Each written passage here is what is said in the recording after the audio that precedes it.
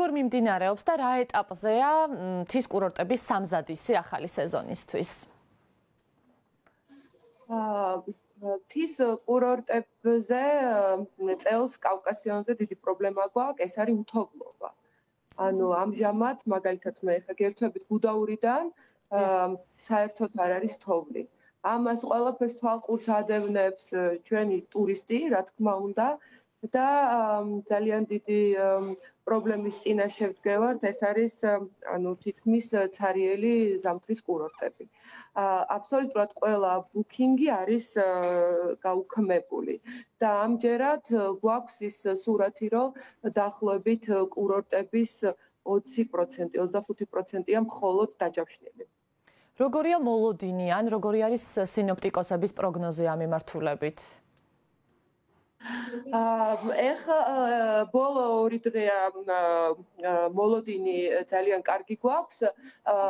პროგნოზში ჩანს დიდი ნალექი, დაახლოებით 1 მეტრი, მეტრა ნახევარი ნალექი ჩანს, იწება დღეს ღამე თოვა, რომელიც გვაძლევს იმის იმედს, რომ განახლდება ჯავშნები. იანვრის ანუ პირველ ნახევარში მაინც. ანუ დეკემბერი ჩათვალეთ რომ ამ უთავლობის გამო ჩაგვივარდა. მირანდა როგორ აისახა პანდემია სექტორის მუშაობაზე? რა გამოწვევების წინაშე დაგაყენეთ? რა არის ის სირთულეები რომლებსაც აი ამ პრობლემის პარალელურად დგას თქვენი სფერო დიახ, პანდემიამ ძალიან დაგვაზარალა. ბევრჯერ მქონდა საშუალება თქვენი ეთერითაც გამოგვეხატა ჩვენი პრობლემები, გამოგვეხატა ჩვენი წუხილი ამ პრობლემებთან დაკავშირებით. 2019 წლიდან ძალიან დიდი გამოწვევების წინაშე დგას ეს სექტორი და ყველაზე ნაკლებად მოგხედა ამ შემთხვევაში მთავრობამ ბევრ სხვა სექტორს დაეხმარნენ და ჩვენ ზამთრის კურორტებს ფაქტიურად არანაირი ხელშეწყობა არ მიგვიღია. ეს იყო 2019-დანაც ჰქონდა უთოვლობა, შემდეგ უწყლობა, შემდეგ მარტის თვეში დაგუკეტეს, შემდეგ 2020 და 21 წლის ზამთრის სეზონი. ფაქტიურად ჩაგვივარდა მხოლოდ ერთი თვე მარტში გაგხსნეს და ეხლაც გუდაური დამოკიდებულია უფრო უცხოელ ტურისტებზე, რომლებიც არიან ვაქცინირებული, მაგრამ სხვა კურორტები, როგორიც არის ბაკურიანი, როგორიც არის სვანეთი, მათი წარმომადგენლების მხრიდან ვისმენთ და ძალიან დიდ წუხილს, რომ ანუ შიდა ტურიზმით დიდი ნაწილი მათზე მოდიოდა შიდა ტურიზმი ტურიზმით ბუკინგების და გაუქმებული აქვს აი ამ წვანე კოვიდ პასპორტების გამო. ანუ ძალიან დაზარალდა ის სფერო, რომლებიც შიდა ტურიზმზეა დამოკიდებული. რაც შეეხება გუდაურს, დიდი იმედი მაქვს, ვერანაირად მე ამას ვერ გავსაზღვრებ, ჩვენ ვერ გავსაზღვრებ ტურისი ბრალია ეხლა ტურისტების ნაკლები აქტივობა. ეს არის კოვიდ პასპორტების ბრალი. თვითონ ქვეყანაში კოვიდ პასპორტებზე არ ამგონია, იმიტომ რომ თვითონ და ვაქცინირებულები არიან ყველანი. უბრალოდ თვითონ ქვეყანაში ძალიან ცუდი მდგომარეობა აა ანუ კოვიდის კუთხით, ხო? წითელ ზონაში ვართ შეყვანილები. ანუ ეშინიათ მაგას სამბობთ.